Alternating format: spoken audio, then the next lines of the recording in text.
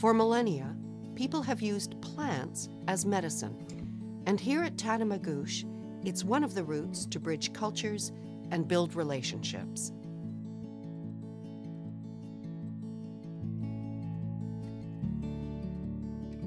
There's been lots of programming here that's brought together First Nations people with um, members of the non-native or the settler community that have built a base of understanding and a way of being together and, and a trust that makes uh, these other programs possible. And also specifically in terms of plants, um, there's such a, a, a hunger really for plant medicine teachings from any tradition. If you like the drugstore plant um, medicine, if you abuse it, it'll hurt you.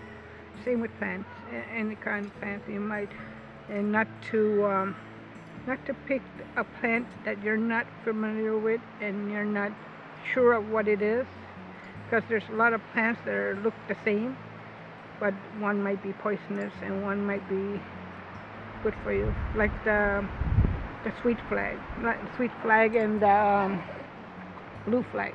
They look similar in the marshes, but one is poisonous and they have to be sure.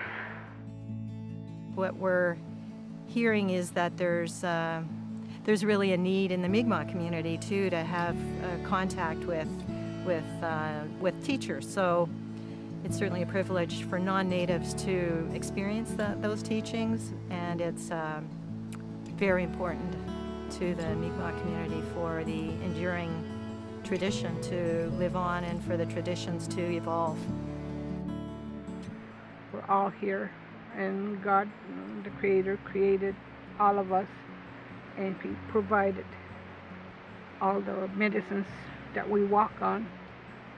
And that, to me, it didn't just, um, He didn't provide and make, make for just Native people. It, he made it for all human people.